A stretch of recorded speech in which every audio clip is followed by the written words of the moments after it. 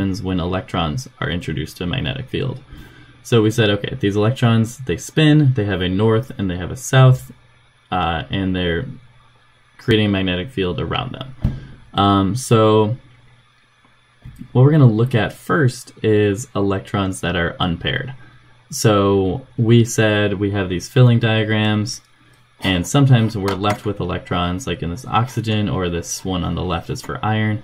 We're left with electrons that don't have an opposite spin. So this has one uh, moment up, a moment up, moment up, moment up.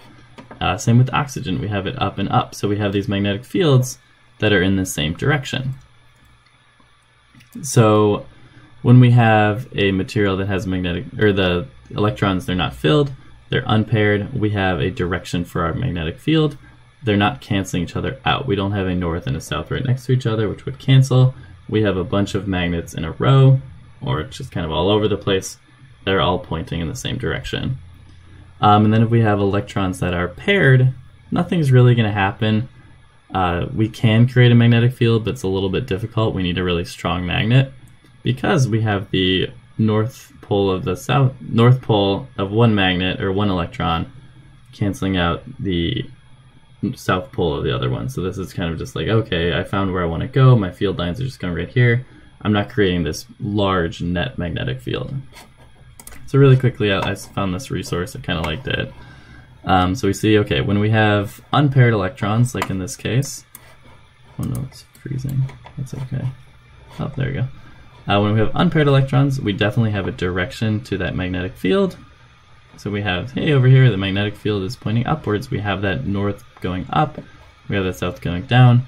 And if we have a bunch of these atoms, we'll have a bunch of upwards pointing magnetic fields. We'll have this north dipole moment.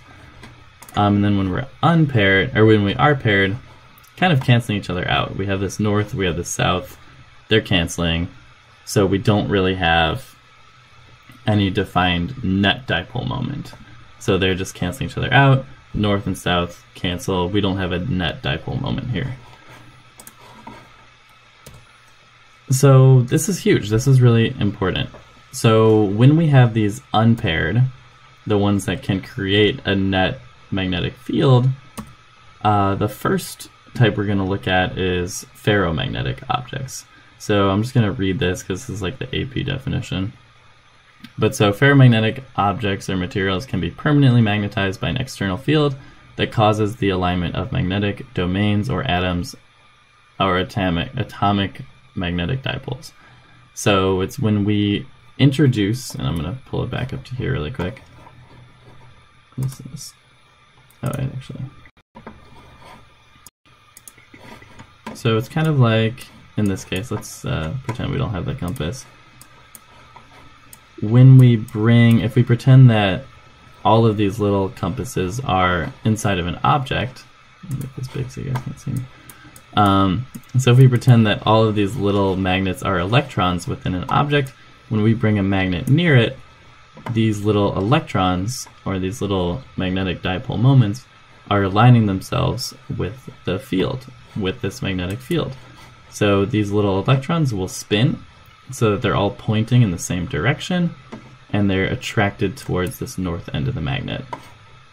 So there's another simulation that I found that kind of shows this. So here we have this ferromagnetic material. We have these unpaired electrons that can move pretty freely uh, when we bring the magnet closer, those little electrons will start to align themselves with this field because they can spin and they don't have anything canceling the other one out. If we were to bring, if we were to be paired, we'd have the north pointing towards that south, and then we'd have the other one that has the opposite orientation going the other way, and those would just cancel each other out. So because we have this unpaired, all of our electrons, their magnetic dipole moments are pointing in that same direction, and we create this magnet. We create a bunch of norths pointing this way, a bunch of, a bunch of souths pointing that way, we have this strong magnetic field that gets created. So what's kind of cool with that, kind of extending that, we can think of a magnet as just a bunch of small little electrons all oriented in the same way, all facing the same direction. So all of these dipole moments pointing in the same direction, kind of like in this image that I drew that I'm not proud of. um, and then what's kind of cool about that is I think somebody asked it in class, but like if we cut a magnet in half, we just create more magnets. We're not really messing with the orientation of those. We're just kind of cutting off where they're acting. So if we kind of cut our magnet right here, we would get uh, this north and south magnet acting in that direction, and then these are still acting in that direction. Uh, so we still have another magnet with defined orientation. So that's kind of neat, kind of cool, um, just kind of an extension of that. But so ferromagnetic objects, when you bring a magnet near them, those little dipoles will go towards the magnet and they will stay that way. They'll be like, yo, this is a great orientation. Love it. I'm going to stay just like that. In the same vein, we have paramagnetic objects. So they do the same thing. When a magnet is brought near them, they will align themselves, but it kind of ends there. As soon as we bring the magnet away, they'll go back to doing their own thing. So they're going to lose their magnetic property when that external magnet is removed. So ferromagnetic, it's going to stay aligned and it's going to become a magnet. But the paramagnetic, they'll be aligned when the magnet's here, and then they'll kind of just do their own thing. They'll remain, uh, they will not remain aligned after the field is removed. Then the last one is diamagnetic. The way that this works is very confusing, and I tried to look it up and I, I couldn't find a good explanation that was easily understandable. I'm going to link a video by the, I think the brother of the guy who wrote Fault in Our Stars, like the green guy, whatever his name is. Uh, he has a good video. um, but it still wasn't like, whoa. Um, it was still just kind of like, yeah, diamagnet- diamagnetism, it exists. Um, so diamagnetism is cool because all materials have this property of diamagnetism um, that the electronic structure can create a weak alignment of the dipole moments of the material opposite to the external magnetic field. So you're going to bring a magnet in, and then instead of pointing, like if this was north over here, instead of the south pointing, it'll actually turn the other way and then oppose it. And these are usually going to be pretty weak, and it's going to be in objects that are non-magnetic, and it's going to cause our objects to repel. So instead of like paramagnetism and ferromagnetism, they line up in a way that we're used to, like a little compass would. This diamagnetic object is doing the opposite.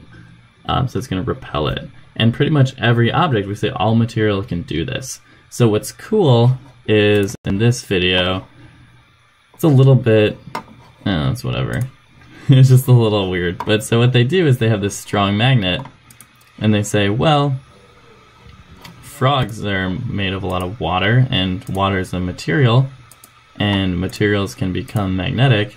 So they create this strong magnetic field with a strong magnet and they kind of drop these frogs in here and then they can levitate these frogs. So these frogs are levitating because of magnetism, because they are diamagnetic, and then they're repelling because we're bringing this strong magnet in here. The dipole moments inside the frog are aligning in an opposite direction so that they will repel and then they can float. This looks like a cricket or something, or a grasshopper, which is kind of weird.